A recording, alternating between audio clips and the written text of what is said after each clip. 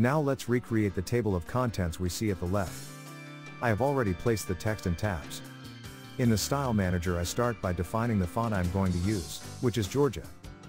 I define the font as a character style. Later in this lecture I will show why. I click on New, Character Style. I name the character style, Text Level 1.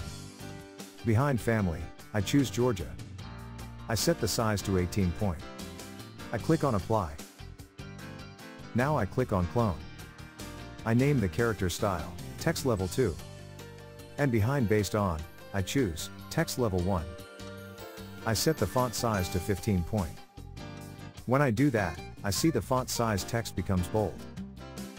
The bold text makes it visual, that I have made this value different from what the parent value is. Everything is still connected to the parent, and will change accordingly when I change the parent, with exception of the bold values. The bold values have now their own values, and are independent from the parent value. So the bold values will not change when the parent value changes. I click on apply. I click on clone again, and I name it, text level 3.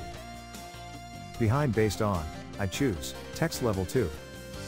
My third text level can be the same as the second text level, size 15 point.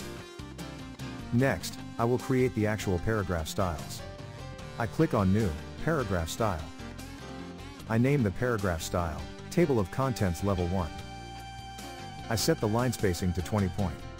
For the Level 1 text, there are two tabs. I click below tabs and indentation to set the first tab.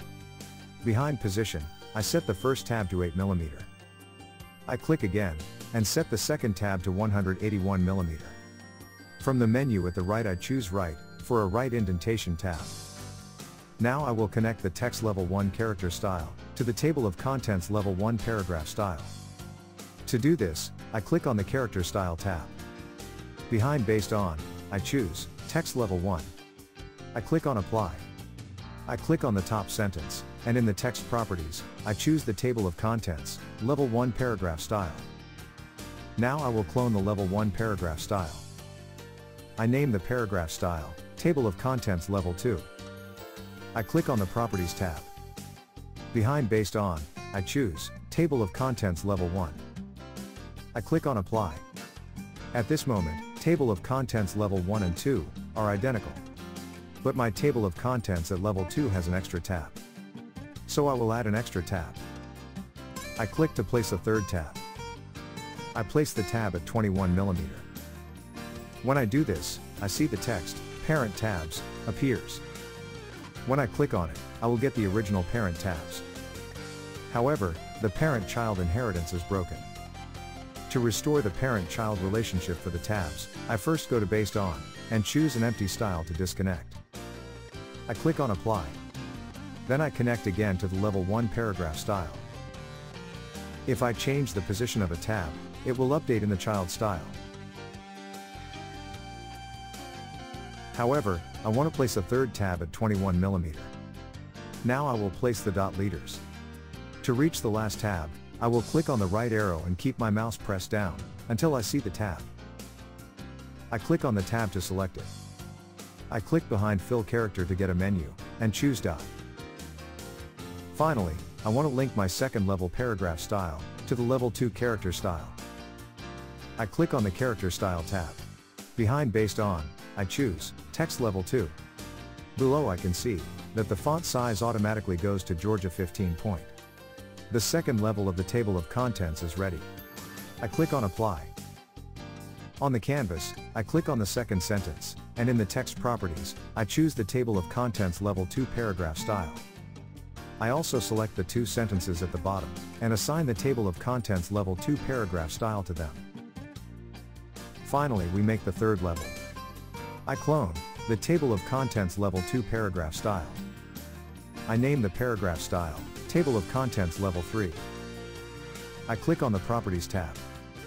Behind based on, I choose, table of contents level 2.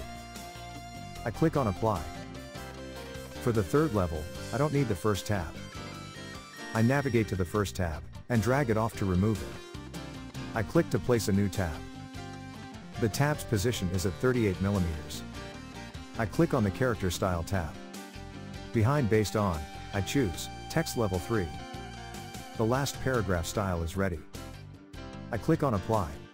On the canvas, I select the last sentences, and in the text properties, I choose the Table of Contents Level 3 paragraph style. The table of contents is now ready.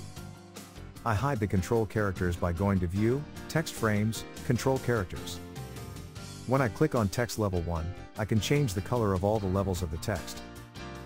I can change the color for the second and third level of the text. Or for just the third level of the text. So this is a flexible way of working, but we see the fill color text has become bold. As we saw before, bold text not only means a change, but also a disconnect with the parent for that specific value. We also saw we can restore this by reconnecting. Now level 2 and 3 are connected again to level 1. I can also experiment with different fonts. By using character styles, I can experiment with text sizes, different fonts, font colors and more, without losing paragraph style specific settings. Because reconnecting with a parent paragraph style, results in losing settings, like adjusted tabs.